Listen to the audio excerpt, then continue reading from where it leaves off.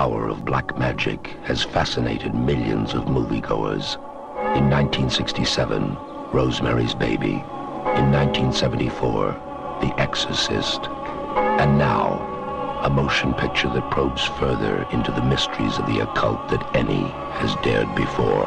98% of so-called Satanists are nothing but pathetic freaks who get their kicks out of dancing naked in freezing churchyards.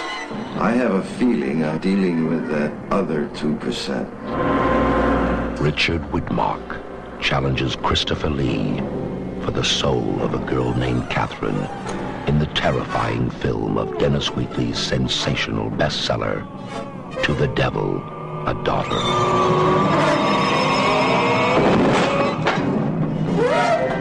Te adoro et te invoco. They've got Catherine. And we've got to get her back before it's too late.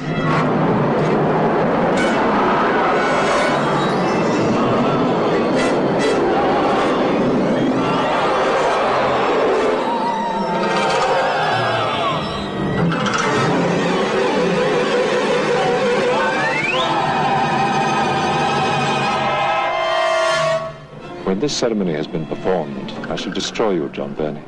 The demons hate you, Rayner. They're waiting for you. Catherine.